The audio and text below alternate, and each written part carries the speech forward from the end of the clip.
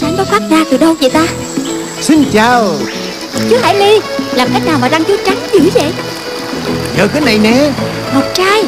Colgate dược thảo trắng bóng mới Có công thức độc đáo với bột ngọc trai Và tinh chất chanh Làm trắng và nhẹ nhàng tẩy những vết ố Làm răng tươi trắng bóng tự nhiên. Trắng lóa cả mắt. Colgate dược thảo trắng bóng mới Răng trắng bóng chắc khỏe tự nhiên.